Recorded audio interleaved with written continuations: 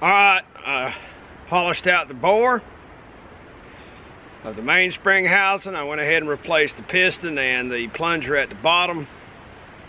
I polished up the hammer and all. And I was like, you know what? Colt built this with the intention of it being a service sidearm with all the parts interchangeable. And I was like, screw it. I took the barrel out of my Colt, or excuse me, out of my Springfield Armory Range Officer and the bushing and I stuck them in there and the damn thing cycles. I'm gonna try to shoot it.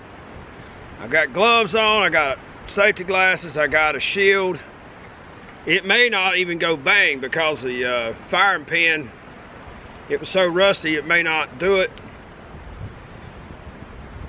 But I'm gonna give it a shot, damn it.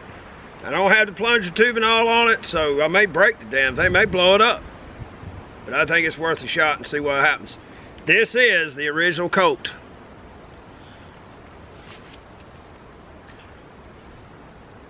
All right, 1911, not A1.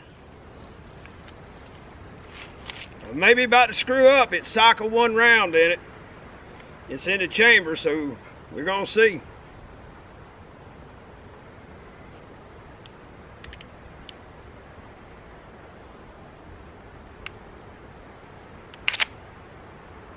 Well, I'm jerked too damn far. Oh! Now I'm gonna have all kind of trouble with it.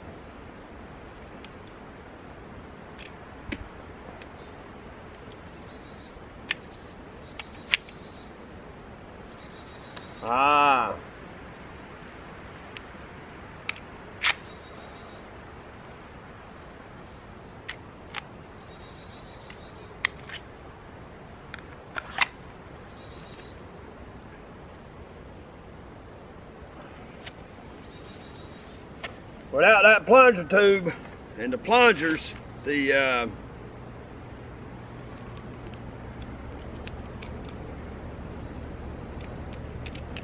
the slide lock is trying to come out. Let's see, I got one in the gun, two, three, four, five, six, seven. So I got seven total.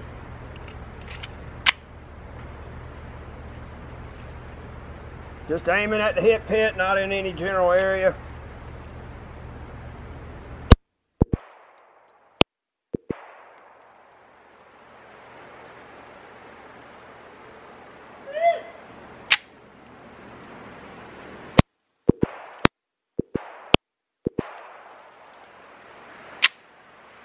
The slide lock keeps jumping on because they ain't got the plunger tube in it.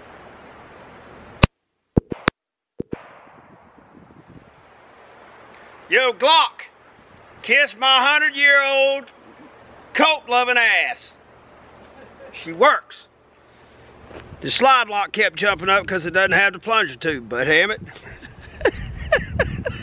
it hit.